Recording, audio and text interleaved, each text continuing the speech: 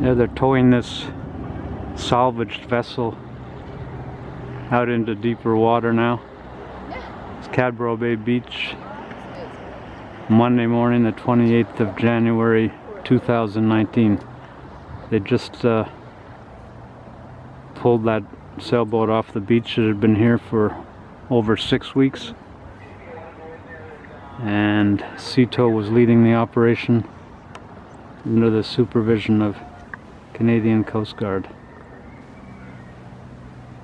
I think the boat's called Let's Go